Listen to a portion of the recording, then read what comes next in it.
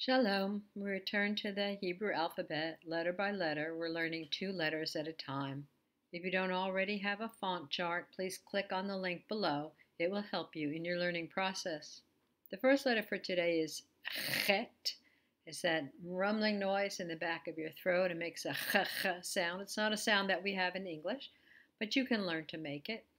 The chet is the eighth letter of the alphabet, and its number value is 8 and its picture meaning is a courtyard. Before we continue, I just want to compare the chet to the hay, which we learned previously. You see three different fonts, and in every one, the hay has a space in it. It's kind of like maybe we can think of to let the air out. So we have to have that space. Otherwise, we'll confuse it with the other letter. Chet is closed on three sides hay, which makes a sound, has an opening. Our second letter today is the final tsadi form. We learned the tsadi a while ago, so it has the same sound, tz. It's only going to be at the end of a word. You see that it comes down below the line. The number value is 90, and the picture meaning is fishhook. Here's the regular tsadi with the final tzadi you can look at them as both having uh, both arms are up, like a man praying with both arms up. Only the one on the right, which is the regular one, that man is on his knees. But in the final form, that man is standing up straight. Together, these two letters spell a word which is chetz, which means arrow. Numbers 24 8. God brought him forth out of Egypt. He hath as it were, the strength of a unicorn. He shall eat up the nations, his enemies, and shall break their bones and pierce them through with his arrows. Uh, just a note, there are no unicorns. Deuteronomy 32:42. I will make mine arrows drunk with blood, and my sword shall devour flesh, and that with the blood of the slain and of the captives, from the beginning of revenges upon the enemy. We see some other translations in Proverbs 7:23, till a dart strike through his liver, as a bird hasteth to the snare, and knoweth not that it is for his life. So a dart is just like an arrow, maybe it's a little shorter. In Job 34:6, should I lie against my right? My wound is incurable without transgression. So the purpose of an arrow is to pierce into the body if it's a person or an animal, and of course it has to make a wound. Comparing a sharp tongue to an arrow, Jeremiah 9 8. Their tongue is as an arrow shot out, it speaketh deceit. One speaketh peaceably to his neighbor with his mouth, but in his heart he layeth his wait. So sharp words are evil words. Also, Jehovah has his own arrow. Zechariah 9:14 and Jehovah shall be seen over them, and his arrow shall go forth as the lightning. And the Lord Jehovah shall blow the trumpet, and shall go with whirlwinds of the south. Lightning also looks like an arrow, right? So here are some related words if we double the tzadi at the end. So now you see all three forms. Chet, tzadi, and the final tzadi, they're all together.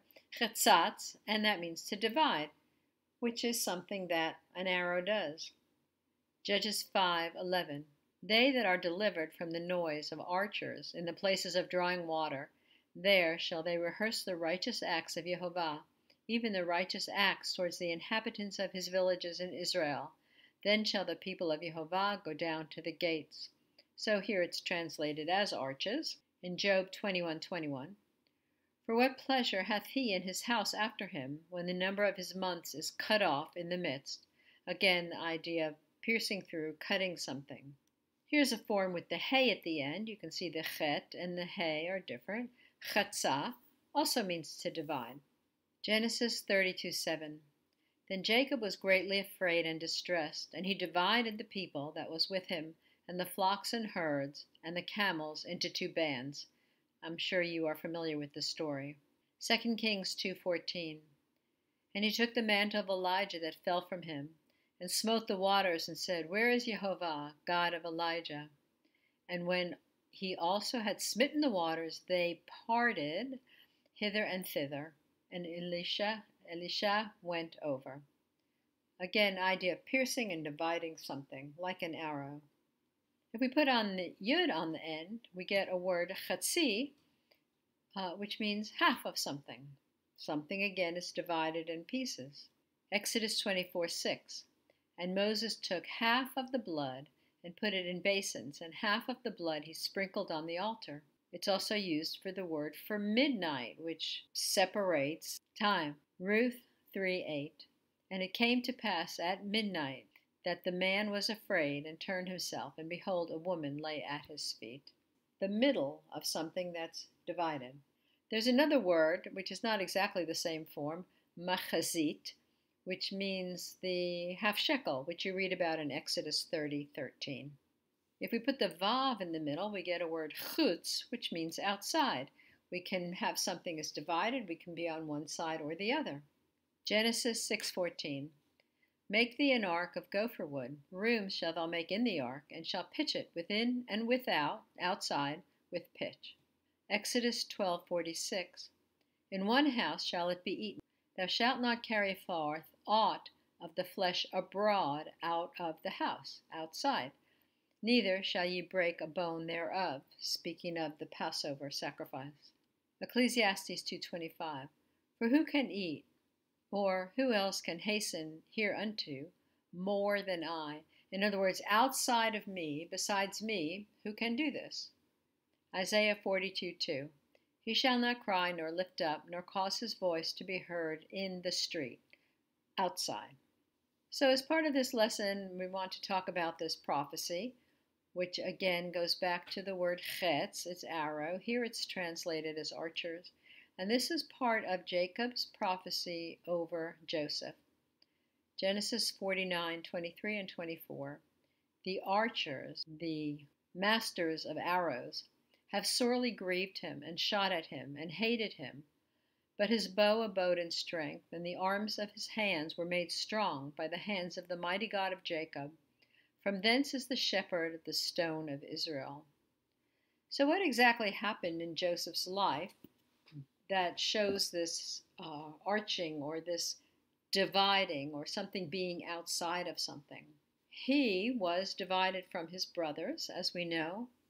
In few verses later, in verse 26, as part of the prophecy, it says that the blessing shall be on the head of Joseph, and the crown of the head of him that was separate from his brethren. So Joseph, we know, is separated from his brethren. Beyond that, another thing happened at that time, and that was the separation of the inheritance of leadership and the birthright. Suddenly, these two ideas, which are usually the same, usually the person who inherits the leadership of the family is the oldest, he has the birthright, and he gets a double portion.